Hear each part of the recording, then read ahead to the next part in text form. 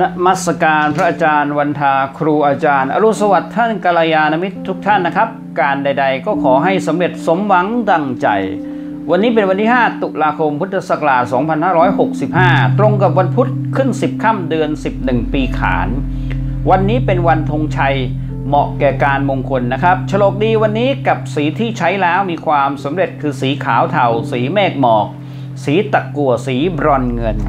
สีที่ควรอีกเลี่ยงสำหรับวันนี้สีคือสีชมพู สีบานเย็น สีม่วงอ่อนๆ ทิศที่ควรอีกเลี่ยงสำหรับวันนี้คือทิศอาคเนหรือทิศตะวันออกเฉียงใต้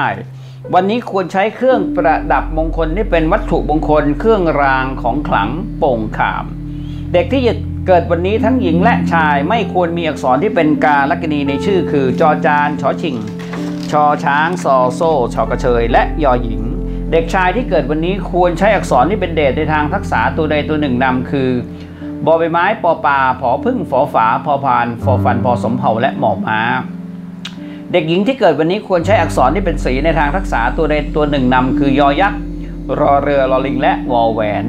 มายเซตวันนี้ นักปราชญ์กล่าวไว้ว่า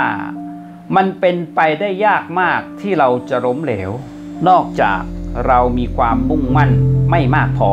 ขอเป็นกำลังใจในการเริ่มต้นวันใหม่ให้กับทุกท่านนะครับ ด้วยรักและห่วงใยจากผมอาจารย์ไก่นารันทา